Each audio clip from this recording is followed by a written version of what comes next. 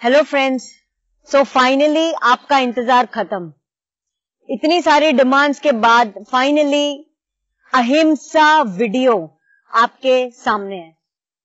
Well well, अहिंसा को काफ़ी अलग अलग नामों से पुकारते हैं जैसे कि humane milk non violence milk organic milk A two milk kind milk इतने सारे नाम दिए हैं। काफ़ी अहिंसा फार्म वाले लोग ये भी कहते हैं कि हम गायों को बहुत अच्छी तरह से रखते हैं। हम गायों को खुले में घास खाने देते हैं। हम गायों को उनके बच्चों के साथ रखते हैं। हम उन्हें कोई इंजेक्शन नहीं देते, हम उन पर कोई अत्याचार नहीं करते, हम उन्हें बांधते भी नहीं है, हम उन्हें बहुत अच्छी तरह से रखते हैं। लेकिन वेल ये सुनने में तो काफ़ी कुछ अच्छा लगता है, लेकिन क्या फिर भी गाय का दूध पीना सही है? वेल, मैं आपको कुछ ऐसे क्वेश्चंस करूँगी जिसका सवाल आपको खुद को करना है। मैं आपको कोई रिलीजन या किताबी बातें नहीं करूँगी। ना ही आपको ये कहूँगी कि कोई धर्म में ऐसा लिखा है या वैसा लिखा है। वेल well, मैं आपको सिर्फ़ कुछ ऐसे सवाल करूँगी जो आप खुद सोचकर खुद डिसीज़न लीजिएगा।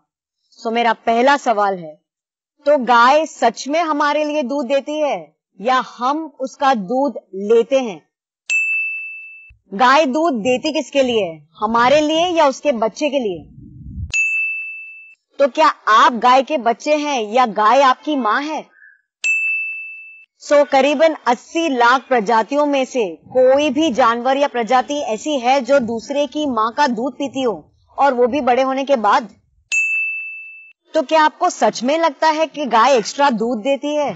क्या गाय कोई अलग प्लैनेट से है या कोई चमत्कारिक जीव है कि उसको इतना ज़्यादा दूध आता है कि अपने बच्चे को दूध पिलाने के बाद भी सारे इंसानों को पिलाने के लिए भी वो दूध पैदा करती है।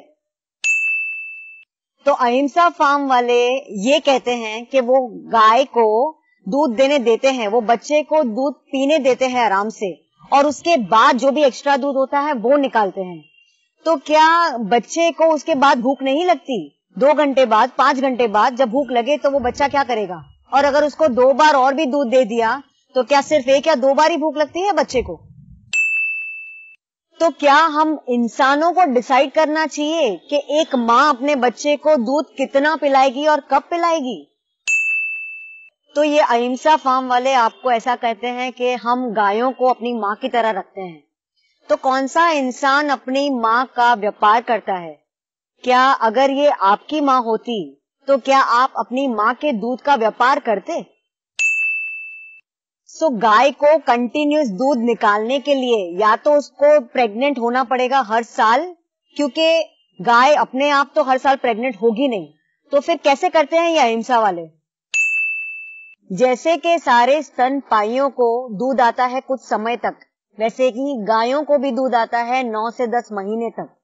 तो इसके बाद ये अहिंसा फार्म वाले क्या करते हैं? अपना बिज़नेस बंद कर देते हैं?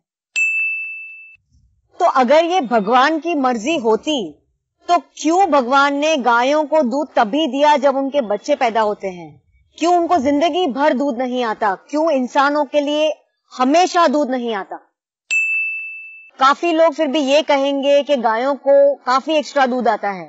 वेल हाँ हमारे नज़रिए से अगर हम देखें तो गायों को एक्स्ट्रा दूध आता है, क्योंकि हमारे लिए वो ऑब्वियसली ज़्यादा है। अब गाय के बच्चे को 20 किलो से करीबन 600 किलो का बनना है तो उसे कितना दूध आना चाहिए? और इस हिसाब से अगर हम देखेंगे तो हाथी को तो उससे ज़्यादा दूध आता है तो क्यों हम हाथी का दूध नहीं यूज़ करते और हम गाय का ही दूध यूज़ करते हैं? क्योंकि गाय शायद काफ़ी हम्बल और काफ़ी ही सीधी, साधा प्राणी है इजेंट इट आज हम नेचर के अगेंस्ट इतना गए हैं, इसीलिए हमें इतनी सारी बीमारियाँ हुई है। हम इतनी सारी बीमारियों के शिकार हुए हैं जो दूध की वजह से हुई है। तो क्यों? अगर ये नेचुरल होता, अगर ये कुदरती होता तो क्यों दूध की वजह से इतनी बीमारियाँ होती है? क्या कोई भी औरत या माँ को ये अच्छा लगता है कि रोज कोई आदमी उसके स्तन को हाथ लगाए या कोई भी उसके स्तन को हाथ लगाए और रोज रोज उसका दूध निचोड़े? क्या आपने कभी इस चीज़ को इमेजिन किया है? सो so, हम कहते हैं कि ये गौशाला वाले इतनी गायों को बचा रहे हैं कतल खाने में जाने से। वो जाने से रोक रहे हैं वो उनकी देखभाल कर रहे हैं। गौशाला वाले या अहिंसा वाले वो आज कितनी गायों बचाएँगे? पाँच पचास या पाँच हज़ार गायों की बात नहीं है ये। यहाँ पर रोज आपके दूध की डिमांड की वजह से आज पाँच हज़ार गायें एवरी डे हर रोज पैदा की जा रही हैं और हर रोज कतल खाने भेजी जा रही है। गौशाला वाले या ये कितनी गाय बचाएँगे? अब ये सारे सवालों के बाद भी काफ़ी लोग एक्सक्यूजेस भी देते हैं।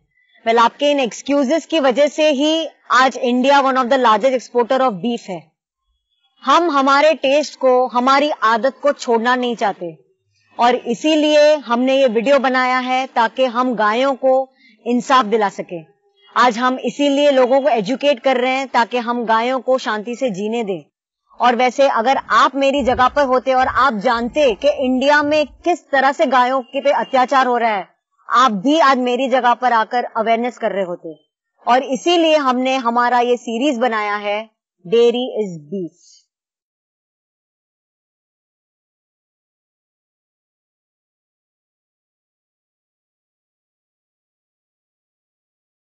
अगर आप जीव दया में मानते हैं, अगर आप जानवरों को मदद करना चाहते हैं तो हमारे पेज से जुड़े रहिए यूनाइटेड फॉर कंपैशन